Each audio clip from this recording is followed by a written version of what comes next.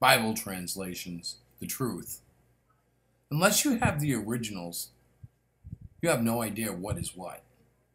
Truth, for those who don't know, the battle behind Bible translations does not start with the translations themselves, but instead it starts with the manuscripts behind the translations. By manuscripts, I'm talking about the copies of the Bible preserved in the original Hebrew, Aramaic, and Greek.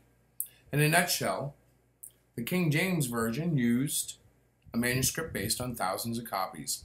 It's reasonable to assume that the thousands of copies establish a consistent base to demonstrate some sort of stability and acceptance in the text. The modern translations, which is essentially any other Bible translation after the King James, came from another set of manuscripts that are a minute number when compared to the majority. And the critics say they survived because no one used them because they were frauds, they were hoaxes, they were false scriptures. But it could also be said that they were unique and specially hidden because corruption had taken over the majority of copies. Bottom line is, without the originals, there's no way to determine which is which.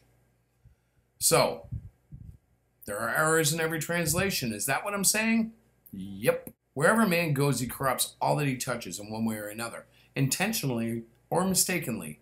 And God is fully aware of this. Some of you will say, but God promised to preserve his word. What? His writing the word on our hearts wasn't enough? Bringing his son, the word, back from the dead and bringing him back to heaven wasn't enough for you? Sending the Holy Spirit to guide us wasn't enough? All this division and bickering over translations make me sick to my stomach. Do you really think God would allow any error in a translation if that's what it was all about. And don't tell me there aren't errors in your pet translation. Google it. There are plenty of critics on both sides of the fence that you can find them all pretty quickly. As Paul wrote in 1 Corinthians chapter 1 verse 18, for the preaching of the cross is to them that perish foolishness, but to us which are saved it is the power of God. So it is with the Bible. Any translation will not make sense to someone not led by the Holy Spirit. It's foolishness to them. But with the Holy Spirit, any translation can and will be used to bring glory to Jesus Christ.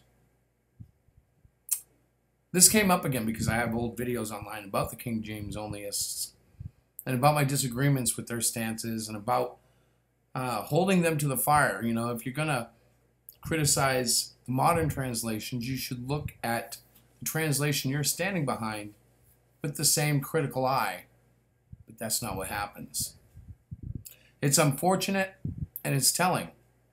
Um, there is no spiritual benefit from fighting over translations. If you truly believe that the King James is the inspired word of God, then don't attack people who don't read it Simply look at them and say, Well, I'll pray they'll read it someday.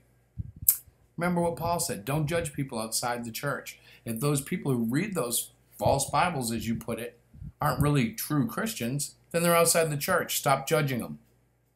Stop being so busy with other people. Take a look at yourself. Apply the scriptures to yourself. You might think you're doing that. But if you're doing all this stuff and love's not evident, if it's not loving, I don't know what to tell you. It's fruitless. Well, until next time, happy Jesus Day. God bless and peace out.